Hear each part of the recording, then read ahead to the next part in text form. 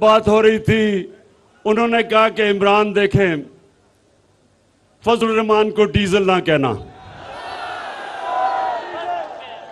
मैं मैं तो जनरल बाजवा नहीं कह रहा, लेकिन अवाम उसका नाम, डीजल रख दिया अवाम ने उसका नाम। अच्छा अब सुने सुने। देखें, अभी डीजल के ऊपर बाद में आते हैं। अभी आ- आता हूँ आता हूँ। सुने सुने, देखे देखे, नौजवानों, मुझे मौका नहीं मिलता आपसे हर रोज बात करने का तो मैं इस, इसके, इस मौके का फ़ायदा उठाते हुए सिर्फ़ मैं आपको एक चीज़ समझाना चाहता हूँ कि इंसान जब किसी के सामने झुकता है, वो अपनी इज़्ज़त खो बैठता है, गैरत खो बैठता है और जब कौम, एक कौम किसी के सामने झुकती है उस कौम की कोई इज़्ज़त नहीं करता। उस मुल्क के पासपोर्ट की कोई इज़्ज़त नहीं करता। मेरे नबी सल्लल्लाहु अलैहि वसल्लम, और ये मैं आपको तारीख का वाक्य बता रहा हूँ। 628 और 629 मेरे नबी सल्लल्लाहु अलैहि वसल्लम ने दो सुपर पावर्स थी वक्त की। एक रोम की सुपर पावर और दूसरा ईरान में सुपर पावर थी। दुनिया उन दोनों सुपर पावर्स के पीछे में बटी हुई थी। तो मुसलमान तो थोड़े से थे। अभी मुसलमान थोड़े थे, चंद हज़ार थे। तो दुनिया की तारीख के सबसे अजीम लीडर मेरे नबी सल्लल्लाहु अलैहि वसल्लम दोनों सुपर पावर्स के सरबराह को खत लिखते हैं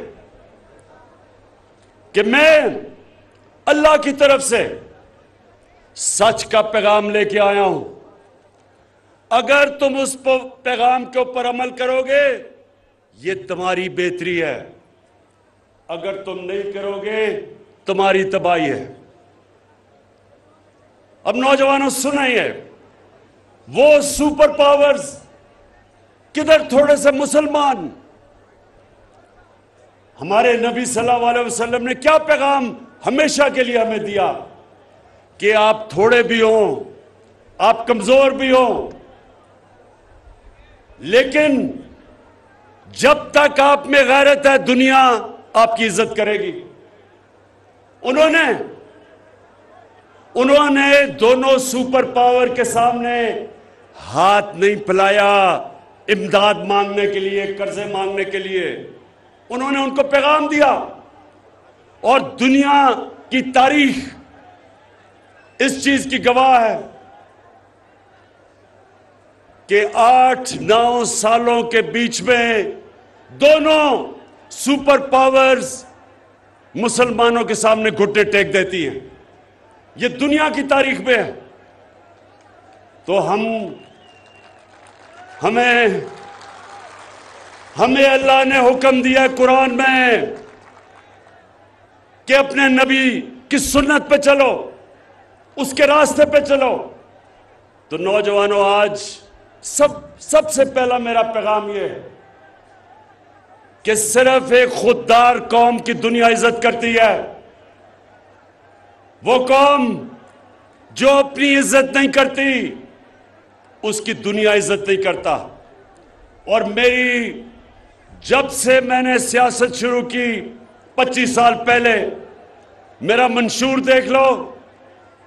मैंने तीन चीज़ें कही कि सबसे पहले हम पाकिस्तान को एक खुददार कौम बनाएँगे, अपने पैर पे खड़ा करेंगे।